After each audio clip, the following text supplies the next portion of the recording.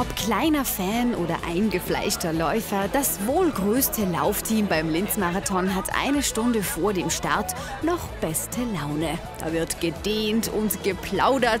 Insgesamt 811 Läufer haben sich von der Initiative Googlewald bewegt, anstecken lassen und sind ins grüne Leiball geschlüpft.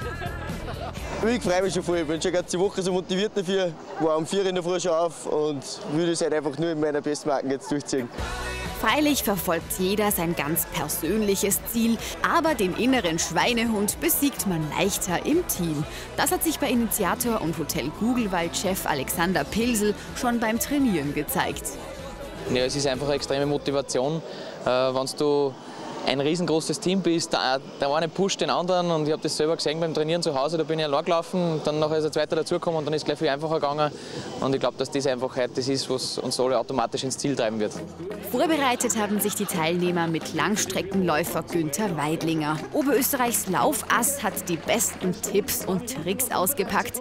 Ja, und wenn es auch für Hobbyläufer ein utopisches Ziel ist, leichtfüßig wie die Profis im Ziel anzukommen, abschauen lässt sich doch so manches.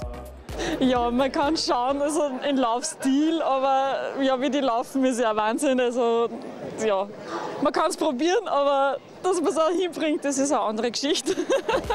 Beim Linz-Marathon geht es um Spaß und darum, gemeinsam ins Ziel zu kommen. Für viele gehört der Sport aber zum täglichen Leben.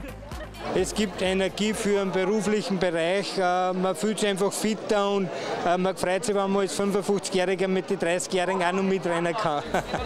Und da fragt man sich, reicht wochenlanges Training wirklich aus oder greifen die Google-Waldläufer auch zum einen oder anderen Wundermittelchen? Für Riegel, äh, für Geld. Ja, und ich glaube, die Aufregung ist schon Doping genug. und Google wollte Luft schnuppern. das ist ein ganz gutes Doping. 3, 2, 1, go! Sein Ziel hat das Team vom Hotel Googlewald auf jeden Fall erreicht. Hobbyläufer beim Linz-Marathon gemeinsam durchs Ziel zu bringen. Letztes Jahr 400 Teilnehmer und heuer schon 811. Ja, wenn man da wohl nächstes Jahr nicht die 1000er-Marke knackt.